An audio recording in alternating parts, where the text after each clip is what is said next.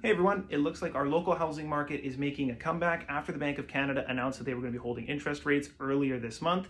Here are a few signs that I've seen in the last couple weeks of market recovery. Number one is an increase in the amount of sales. So sales doubled in February over January, and they're the highest recorded number in February since May of 2022. Number two is an increase in sales price. We're seeing about a 2 to 5% increase in the median sales price of residential real estate, depending on the type of product and where it is. The inventory that was sitting for a long time has either suddenly sold or have an accepted offer on it when you go to request a showing.